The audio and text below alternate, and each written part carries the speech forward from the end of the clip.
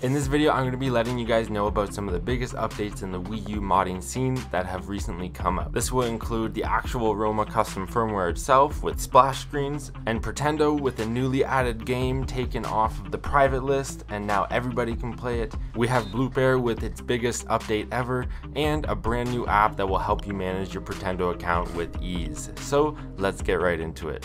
Starting off with the updates for Aroma with the latest version now being Aroma Beta 22.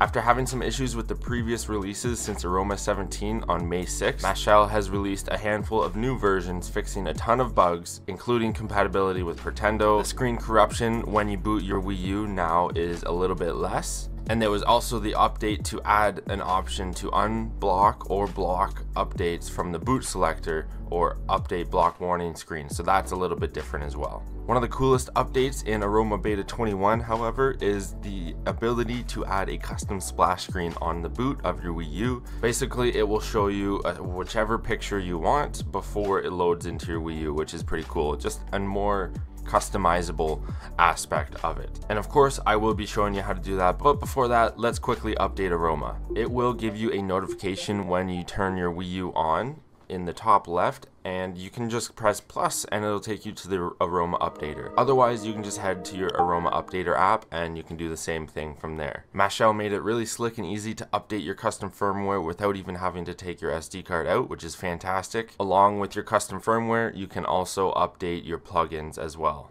including Bloopair, which had a really big update as well. And to set up your very own Wii U splash screen, you can literally go onto Google and type in HD background. Let's do Mario. Now this one is 2560, so maybe we can type in 1920 by 1080. But once you find one you like, this one is 1920 by 1080. That is the preferred size. Just save it. And this one's a JPEG, so maybe we can convert it. So we'll just save it.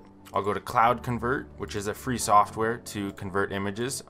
Open it up, change it to a PNG, download it. And there we go, minimize that. I'll delete the JPEG one, we don't want that. And then we're gonna rename this to Splash. Now on your Wii U's SD card, go into Wii U, Environments, Aroma, and now all you gotta do, as you can see, I already have one in there right now. Here, let me show you. It's beautiful. That's what loads onto my screen right now. Exit that, I'll delete it. And then just grab your splash.png and place it inside.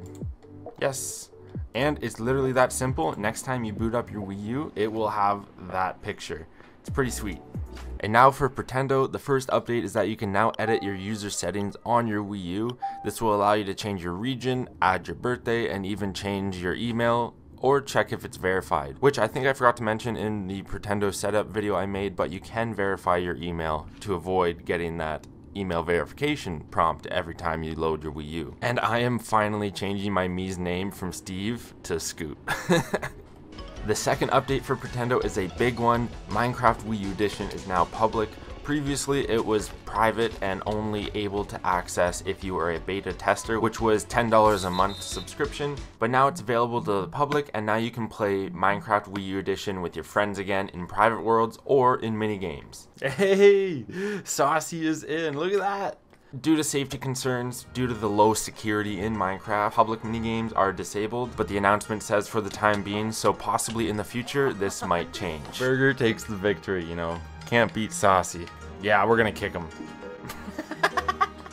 Maybe soon I'll make a members only world where we can all play together. Keep an eye out in the exclusive chat in the Discord. Another really big update in the homebrew community on the Wii U is Bloopair, which I did explain in my top 10 Wii U homebrew apps and plugins video, but basically you can connect any Bluetooth controller to your Wii U using this plugin. Here it is, five days ago, after over a year, here's one of the biggest Bloopair updates yet, and that includes Koopair. As you can see, there is a new companion app called Koopair, and this will help you test controller buttons and sticks using the built-in controller tester. And of course, you can update this in the Aroma Updater as well. And next up on the list is the brand new app Wii U Account Swap. If you want to get it, you can just download it directly from the Homebrew App Store. This is a Homebrew app that allows you to manage your account.dat for each user. So basically, you can link or unlink a Nintendo Network ID or Pretendo Network ID to a user.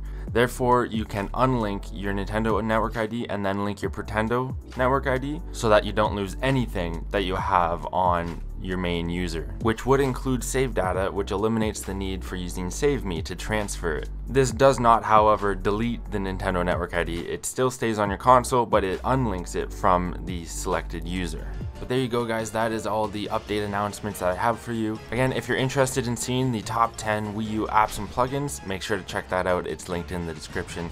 If I missed anything, please be sure to comment down below and let me know. Otherwise, thank you for watching, stay funky, and happy modding.